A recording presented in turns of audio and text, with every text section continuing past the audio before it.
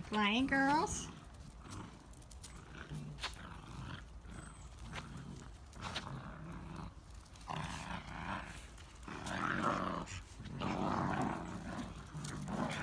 Okay, so that's Carlee, the, the bigger little girl that she's going home tomorrow. And we have April, and we have Bon Bon, and we have our newest little lady, Princess Leia. This is always a favorite toy. What's left of it.